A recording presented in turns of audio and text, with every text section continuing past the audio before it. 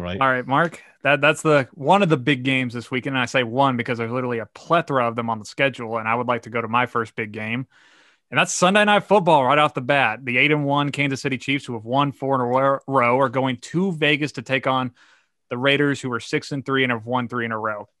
And just off the top, before we started recording, as Mark mentioned, this is we're recording this before Thursday night football, and it's Wednesday. We we have news that apparently, according to Rap Sheet and Tom Pelissero from the NFL Network, this is the verbiage they use that nearly all of the starting Raiders defenders have come into close contact with a high risk uh, COVID person. And basically, most of their starting defense is in COVID protocol, is what I'm trying to say. So their status right now is very questionable. Now, according to COVID protocol, if they continue to test fine throughout the week, they should be good to go on Sunday Night Football. But that also means they can't practice right now. And that's the big thing. And that's that's a tough blow for a game that I was very, very excited for coming into the week. I mean, when was the last time we got to hype up a Raiders Chiefs matchup like we were gonna hype this one up, but it, it it really does suck and it does take some air out of the balloon. But I still think this could be a very fun matchup, and here's why. Because I think this is a massive revenge game for the Chiefs, and you're thinking the Chiefs, why? What what do they have to prove to anybody? Well, if you remember, in the long, long time ago of what was it, week five at this point, the Raiders walked into Kansas City and beat the Chiefs. In case we all forgot about that, it was one of the biggest upsets of this young season. And apparently, after the game, what happened was the Raiders got on their little team bus outside of the stadium and they were so happy. They were so overjoyed with their victory. They did victory laps around the stadium in the parking lot, according to reports.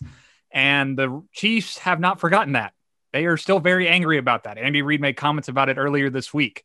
So I feel like the Chiefs are going to come into this game on Sunday Night Football very amped up and very angry, and rightfully so. It's their lone loss on their basically perfect record so far this young season to the scrappy young Raiders team that's showing a lot more fight than I thought they had in them. But why don't we go back to that aforementioned week five game in Kansas City and look at how the Raiders really won it? Well, I think they won it in the second half, is what I think they did. Their secondary was playing lights out.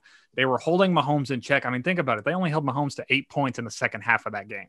If you're any team in this league, you take that in a heartbeat, like no questions asked. The Chiefs were able to do that and they were able to manage things and they were able to make big plays with Nelson Agholor down the field. And that's something that they've really showcased well this season. And I, wouldn't bet on them to hold Mahomes to only eight points in the second half. I wouldn't bet on that again, especially with the news about their defense that I just mentioned a minute ago. But if there is a recipe for an upset, it's going to come from not the Raiders defense, but their offense because interestingly enough, the Chiefs are still having similar problems that they had last season on defense, specifically their rush defense. They're, believe it or not, they're the 29th ranked rush defense in the league. They're giving up 138.4 rush yards per game. And Mark, you and I both know what the Raiders want to do. They want to run that football like there's no tomorrow. And then, you know, take some shots with Henry Ruggs and Nelson Agholor here and there, and then make some plays downfield. That's their MO to a T. So they're going to ride Josh Jacobs like there's no tomorrow in this game, try to control time of possession and give their defense, who is going to be a little gassed because they haven't had a lot of practice this week, a break.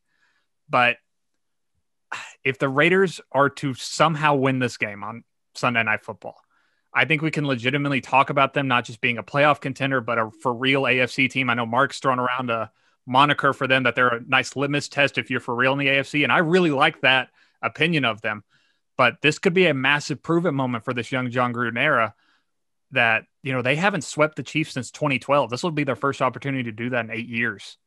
And he's brought new life into that team and all this and that. And it's some good feelings in Raiderville, but I'm taking the Chiefs on Sunday Night Football. They're going to come out angry and they're going to come out looking for redemption for what happened earlier this season.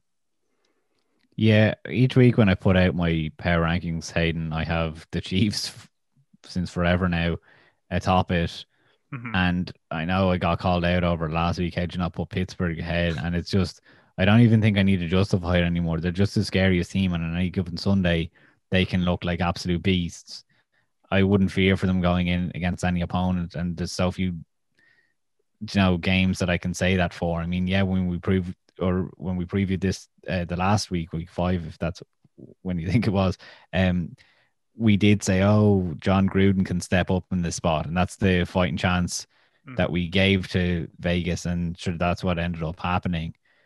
But even when we like to refer to the power rankings, when Pittsburgh went against Tennessee and against Baltimore, you know, at least we gave those teams half a chance. Whereas Las Vegas, even though they are a strong team and they definitely are pushing for the playoffs,